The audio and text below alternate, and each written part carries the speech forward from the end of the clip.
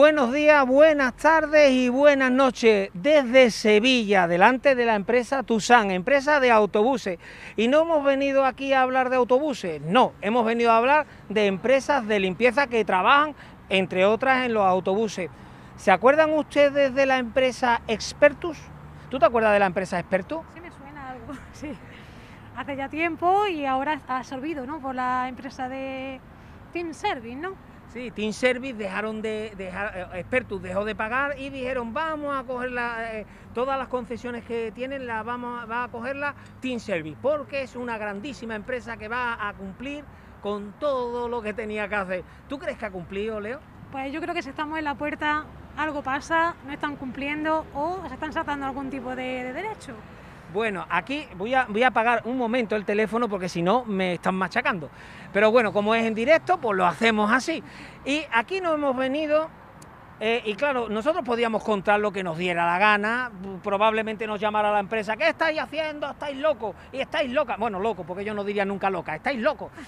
Eh, pues bueno, estamos locas, sí, estamos locas por contar lo que está pasando aquí. Y por eso, para no ser nosotros lo que nos cuente, nos hemos venido con una compañera, Ana.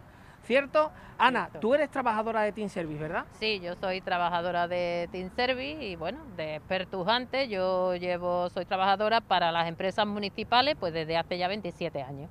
27 años, Leo. 27 años, sí. Y bueno, y ahora estamos aquí, eh, como tú muy bien has dicho, hoy en las puertas de Tucson, que es una de las empresas municipales que tiene, que bueno, de las cuales Team Service le hace el servicio. Está Tusan, está Emasesa, está Lipasan y está Envisesa. Esas son las cuatro empresas municipales para las cuales trabajamos. Yo en concreto he trabajado durante 20 años, estuve trabajando aquí en Tusan y ahora actualmente ya llevo 7 años trabajando para Lipasan. Ana, ¿y qué hacemos en la puerta? ¿Hay algún, algo que esté pasando que, para que estemos concentrados hoy aquí? Pues mira, sí, están pasando dos cosas principales que son bastante graves.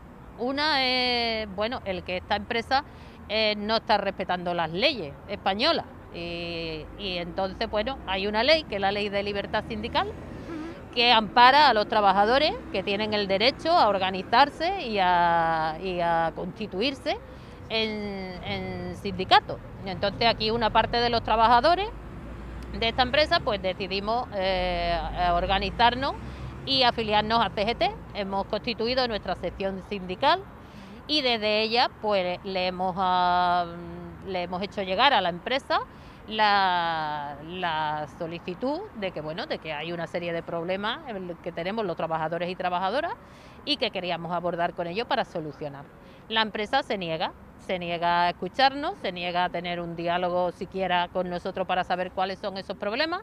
Y no solamente es eso, sino que a raíz de nosotros mm, hacerle llegar esta eh, la constitución de la sesión sindical y nuestro interés en, en tener una reunión y abordar los problemas, pues se han dedicado los supervisores de la empresa a ir mm, uno por uno a los centros a por cada compañero afiliado a CGT y han ido pues a coaccionarlos, a amedrentarlos, ha habido cambios de turno, ha habido reducciones de jornada, ha habido cambios de centro, eh, o sea, mm, todo un sinfín de, de acciones que están, han tomado y están tomando contra los afiliados a CGT para que no denunciemos lo que estamos denunciando. ¿Hay alguna, algún sindicato más que pertenezca a la empresa? Sí, aquí el, el único sindicato que hay y que además es el que gestiona el comité de empresa es Comisiones Obreras. ¿Y contra ellos hay algún tipo de represalia? Pues no, contra ellos no hay ningún tipo de represalia porque además es que la gestión del comité de empresa es inexistente. Tan inexistente que por eso los, los trabajadores y trabajadoras tenemos la cantidad de problemas tan graves que tenemos. Hay que recordar para ustedes, ondarreños y ondarreñas de pro que nos estáis escuchando, que sobre este tema de elecciones sindicales, y en concreto sacamos como ejemplo de lo que pasa en unas elecciones sindicales a la empresa Team Service, sacamos el ejemplo de Huelva, donde las elecciones de Team Service, me voy a reír, es que yo en estas cosas me tengo que reír. Sé un autobús que pasa, pero quiero que se escuche bien fuerte y bien claro, donde las, las elecciones en Huelva de la empresa Team Service eh, que era el antiguo experto, se celebraron en la sede de comisiones obreras. Está denunciado y estamos a la espera de que, de que salga bueno, ese laudo que lógicamente pues, les quitará la razón porque ellos eh, minoraron, la, minoraron el número de trabajadores para elegir solamente tres delegados que fueron curiosamente de Comisión Obrera, donde se celebran las elecciones. Esto, bueno, es indicativo. Se celebran las elecciones en un sindicato, luego la empresa y el sindicato es la misma cosa. Pero es que nos vinimos aquí a Sevilla, donde también las elecciones fueron otra especie de chapú, de, bueno, de, república bananera, de estas cosas que se suelen decir siempre, pero bueno, las vemos en las elecciones sindicales. Y de aquellos barros, estos lodos, ¿Cuáles son los lodos? Los lodos son un sindicato llamado Comisión Obrera en Team Service que está al servicio de la empresa a la que, bueno, él vende que no van a tocar a los míos, pero a los demás que le den viento fresco y esa es la situación real, por más que quieran ahora ocultarlo en base a legalidades inexistentes, lo cierto es lo que está pasando. ¿Me he equivocado en lo que he dicho? Pues no, no te has equivocado, Diego. Como tú muy bien has dicho, tras unas elecciones sindicales de dudosa legalidad, puesto que la maniobra de la empresa y comisiones obreras fue no aceptar la candidatura de CGT, con lo cual no pudimos ni presentarnos. Se presentaron ellos como candidatura única y bueno, de un total de 140 trabajadores que somos en total, eh, votaron 50 y 47 votos fueron los que sacaron comisiones obreras. Yo creo que ese comité no representa a los trabajadores de Team Service, pero bueno, es el que tenemos y es el que está. Y no, pero nosotros estamos como sección sindical, CGT tiene una sección sindical en Team Service. Exactamente. Que por ley debe ser escuchada, independientemente que los acuerdos, hasta que no se celebre, eh, eh, se celebre como se tiene que celebrar todo, toda la parte jurídica y nos quite de en medio estas elecciones que realmente han sido una chapuza, eh, mientras no se celebre, el comité tendrá que hacer lo que tenga que hacer, pero la sección sindical tiene mucho que decir. Cosa que desde la sección sindical, porque seguramente esto le llegue a manos de la gerencia. Esa gerencia que dice que no nos quiere escuchar, que no quiere escuchar a la gente de CGT. ¿Qué es lo que le tendríais que decir? ¿Qué es lo que pretendéis eh, decirle eh, y que no os quiere escuchar? Pues mira, desde la sección sindical de CGT en Team Service le queremos decir al gerente de Team Service le queremos decir que tiene que solucionar los problemas de los trabajadores, los graves problemas que tenemos. Que no puede haber ni un compañero que trabaje más de nueve horas al día. Que no puede haber ningún compañero que no tenga los descansos mínimos que tiene que tener entre una jornada y la siguiente. Que no puede haber un compañero que no tenga ropa de abrigo y esté pasando frío de noche trabajando. O esté trabajando como en la limpieza como se trabaja profunda con, los zapatos rotos y calándose de agua. Que no puede estar pagando, o sea, pagando las nóminas como lo está haciendo, que nos está robando, porque no está pagando lo que debe. Hay compañeros que no cobran los pluses de nocturnidad, hay compañeros que no, que no cobran las horas en condiciones, hay compañeros que somos la mayoría que con las nóminas tampoco nos está pagando bien. Y después, en el tema de las horas, no puede haber ningún compañero cobrando la hora a 4 euros cuando el convenio la marca a 13 euros. No puede haber ningún compañero que no tenga mascarilla ni tenga su EPI.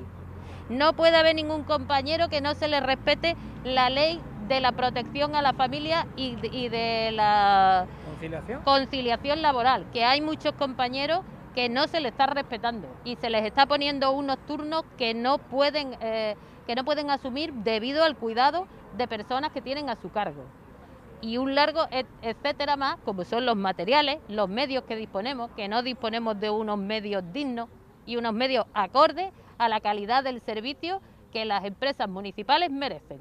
Y esto lo tienen que saber las empresas municipales, por eso hoy venimos aquí a las puertas de TUSAM. Y el mes que viene será, si no nos escucha la empresa, será a las puertas de otra empresa municipal, para que se enteren que la, empresa que tienen con la concesión de limpieza no les da un servicio de calidad. Y además los está engañando, porque uno de los requisitos del contrato que ellos firman es que los trabajadores tenemos que estar convenios. Y esta empresa Team Service no está cumpliendo con el convenio colectivo. Me parece sorprendente, por una parte, que sean tan descarados a la hora de eh, eh, tomar represalias solo contra CGT de esta forma tan clara porque legalmente saben que existe la tutela sindical, que existe el, derecho a los derechos fundamentales o los derechos laborales de los trabajadores y de las trabajadoras, y que lo estén haciendo de esta forma tan descarada, yo me haría una pregunta bastante, bastante importante y es, ¿no se da cuenta el resto de plantilla que está eh, respaldando a un sindicato que está viendo que no está con vosotros, sino en contra de, todo lo que estáis pidiendo. Hay algo aquí que, no, está claro, Diego, ¿verdad? Sí, bueno, hay una cosa, eh, hay un enchufe, coño. Bueno, yo, yo ante eso tengo que deciros que hay muchos compañeros, muchos compañeros que no hablan ni, ni salen, digamos, públicamente porque tienen miedo. Miedo a esta represalia que, como te digo, la empresa está tomando. Pero que sí son perfectamente conscientes de, lo, de la actitud de la empresa y que, por supuesto, la rechazan de plano. Lo que pasa que son, hay muchísimos compañeros con mucho miedo porque dependen, es lógico, dependen sus trabajos de, de ellos. Y estas personas cuando, bueno, estos supervisores cuando han ido compañero por compañero, pues van y, lo, y los cogen a solas no los cogen lógicamente cuando hay gente delante que puedan lógicamente dar la cara y corroborar lo que allí se ha dicho. Pero vamos, sea de la manera que sea, desde aquí le lanzamos también y aprovecho esta ocasión para lanzarle bueno, el mensaje de que con CGT no van a poder y que si esa es su actitud represora, eh, antidemocrática y bueno, y yo diría que hasta casi ilegal, la nuestra va a ser la calle la lucha, la denuncia y señalar a los culpables. Pues por mi parte, darle la enhorabuena por tener esa fuerza, por tener esa constancia y bueno, y hacernos la pregunta de por qué tantas empresas municipales están llegando a estos extremos, Diego. Sí, bueno, hay, hay, una cuestión que como ustedes ven son, una, son empresas, este son del tipo de empresas Team Service que se nutre de lo público, de fondos públicos, de fondos que pagamos entre todos y todas, con esa suposición de que, bueno, que, se va a trabajar bajo convenio, en condiciones, cuidando a los trabajadores y trabajadoras, cuidándolos en su salud. Y estamos viendo que no, no dan EPI, se incumplen las normas, eh, atacan a los trabajadores, los coaccionan. Esto en otro tipo, en otro tipo de, empresa o con otro tipo de historia, estaríamos hablando directamente de, actuaciones cercanas a las que haría la mafia eh, para recaudar fondos. O sea, tú lo ves ahora mismo, ves a uno recaudando fondos y diciendo, no te preocupes, aquí no pasa nada y vamos a incumplir todo lo que haya que incumplir. Y hombre, esas prácticas que se le denominan mafiosas, es lo que estamos viendo, atacar a compañeros de esa manera yendo de uno a uno, hombre, ya le vale a una empresa llamada Team Service, ya le vale hacer esas actuaciones. Eso no puede ser. Entonces, estas actuaciones... Eh, presuntamente, presuntamente mafiosa, no las puede hacer, decimos presuntamente, ojo, y, eso tiene que, quedar, tiene que quedar constancia porque lo que suelen hacer estas empresas siempre es lo mismo. En vez de reconocer lo que están haciendo mal y corregir, lo que intentan es mirar a ver dónde está el punto y la coma para atacarte. Entonces, eh, podríamos hacer una reflexión sobre todo esto, ¿no? Eh, ¿Me permites que la haga yo? Sí, sí, sí. Vale, y ya tú la terminas, que la vas a terminar muy bien. Vale, bueno, eh, nosotros vamos a pedir que, tú hagas eh, una reflexión. Pues, ve pensando qué es lo que se te queda detrás, pues yo voy a hacer una reflexión y detrás de ella vas, a hablar tú, porque siempre queremos que lo que se queda detrás, que lo podamos decir. Entonces hay una, una cuestión que la tenemos bien clara y que a mí se me viene con todo esto, y es, si estamos hablando de empresas públicas, vuelvo a lo mismo, es que trabajamos muchas veces con empresas que cobran de lo público, pero que no cumplen con lo público, que no cumplen con las personas que intentan sacar del conocimiento de, la mayoría de, gente, de la mayoría de los trabajadores, de la mayoría de la sociedad, todo eso que hacen, que son verdaderas barbaridades y verdaderos atentados contra el derecho a la libertad sindical y contra el derecho, mm, los derechos más básicos laborales, los que tanto nos ha costado. Si nos encontramos con empresas como Team Service, que lo incumple absolutamente todo, en mi reflexión incluyo a todos los políticos y políticas que tienen que tomar la decisión de dar concesiones públicas a estas empresas. ¿Ustedes a qué esperan? ¿A que haya personas que se contagien porque no les dan EPI? ¿A que haya personas que se hieran y no puedan estar y no puedan estar cuidados? ¿A que se impida la conciliación familiar? ¿A qué están esperando para darse cuenta de que no vale darle la licitación a cualquier a cualquier empresa sencillamente porque presentan cuentas que son falsas, que son erróneas en muchos casos, que sencillamente justifican que se les dé un trabajo y que al final de, dársele, eh, de darle esos trabajos, al final van a incumplir. Por eso, esta llamada, esta reflexión va hacia, eso, hacia esos políticos y políticas que tienen que eh, dar, eh, que tienen que, elegir qué empresa, qué empresa va. ya basta de darle licitaciones sin consultarle a los trabajadores y trabajadoras sobre las empresas y que pasado un tiempo se les vuelva a preguntar y se les vuelva a preguntar para ver cómo son. Si hay sindicatos que dicen que están bien, lo que aquí se está planteando es que precisamente va todo muy mal. Así que ustedes hagan la reflexión, ¿cómo creen ustedes que están las cosas? ¿Bien o mal? ¿Se les debe de volver a dar licitaciones públicas a esta empresa? ¿O mejor optamos por otra que cumpla? Protejámonos todos y todas. Esa es mi reflexión. Así que, bueno, ahora...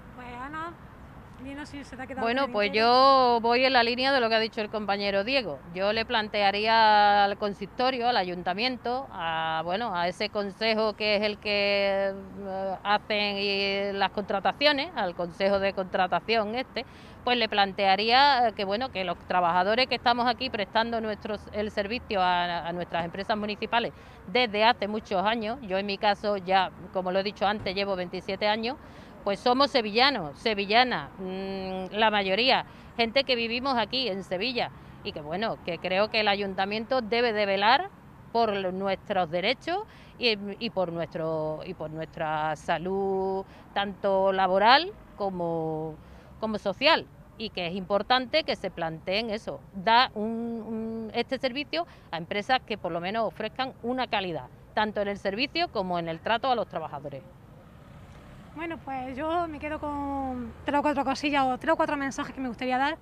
Eh, CGT no somos intermediarios sociales, luchamos porque se cumplan los derechos, no pedimos más allá de que se cumpla el estatuto y la legalidad y el convenio colectivo, no pedimos nada más que que se respeten los derechos fundamentales y el derecho a pensar como quiera. Entonces, eh, si tan claro tienen que tienen que coaccionar, pues tendremos que utilizar nuestras armas, darle la publicidad que se merecen, mostrarle al mundo lo que están haciendo y seguir en la lucha. Banderas de CGT, concentraciones, manifestaciones y todo lo que esté en nuestra mano. Así que, Diego, Buenos días buenas tardes y buenas noches a la hora que ustedes nos escuchen. lucha es el único camino. La lucha es el único camino. La lucha es El camino. El único camino. La lucha es el único camino. la lucha es El único camino. Lucha es el único camino. La lucha es el único camino. la lucha es El único camino.